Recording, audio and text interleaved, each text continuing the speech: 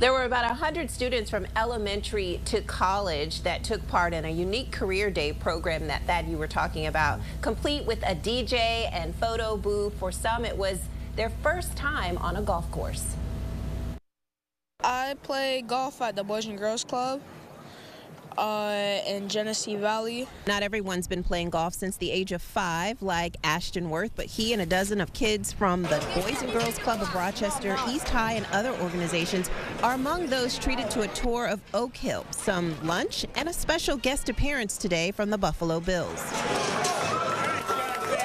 In addition to meeting athletes, participants attended several panels and heard about the numerous careers associated with PGA of America. It opens their minds to, hey, I do want to go to school to be an engineer, but I could be a golf club engineer. Like a lot of kids don't think that. So we're able to talk about the different opportunities that are in the golf industry, but for those who don't work in golf or who don't end up in golf, how golf can be pivotal to the to accelerating themselves in their careers. I'm a, I'm a, a perfect testament to that story you know, here I am, you know, 40 years into a, a career in the golf industry because I was introduced to the sport very early on. 15-year-old Malachi Finley is a caddy at Oak Hill as well as a member of the Boys and Girls Club. He's looking forward to earning one of the college scholarships offered by PGA of America. And he, too, is an example of the power of inclusion and identity.